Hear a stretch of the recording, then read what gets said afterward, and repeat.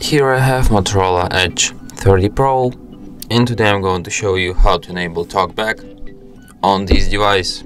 So firstly you have to open settings, then go to the system section,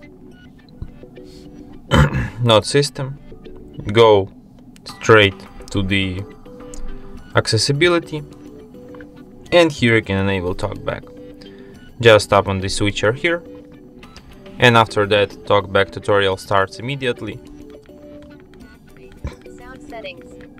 and it talks like non-stop. To TalkBack, page 1 of 5. TalkBack Every time you tap on something, it will, like, tell you- it will tell you what will happen or something like that. So if you want to select anything in talkback mode you firstly have to select it like this and then double tap Close. just like this. And the same and the same if you want to disable it select it double tap and once again. And that's how you can disable it.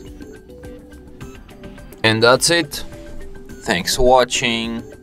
If you find this tutorial useful don't forget to hit that like button and subscribe to our channel